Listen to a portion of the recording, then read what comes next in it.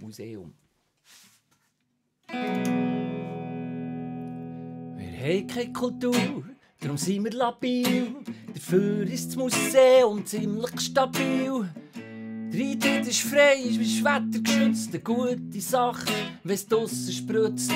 Bevor wir eintreten, möchte ich allerdings unbedingt erwähnen, dass es dir nicht gelingt, die nötige Stimmung mitzubringen. Beispiel sollte man dort innen nicht singen und Geschichten, die willst ja lernen kennen. Darum darfst du dich nicht umrennen. Die Finger, die musst du gut in der Hand haben, nichts anrühren, gut aufführen. Hast keinen Wunsch beim Personal, es sagt, du könntest dich total in ihre Zeit versetzen, darfst dich nicht hetzen.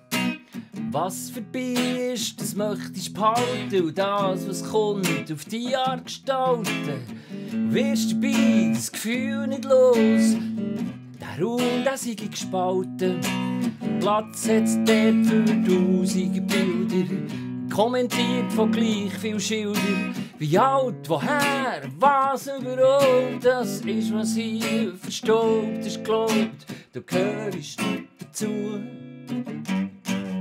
Die leere Wand ohne Rand, unbegrenzt belichtet. Die, Bewe die schönen Bäume, bewegte Träume, atomar beleuchtet.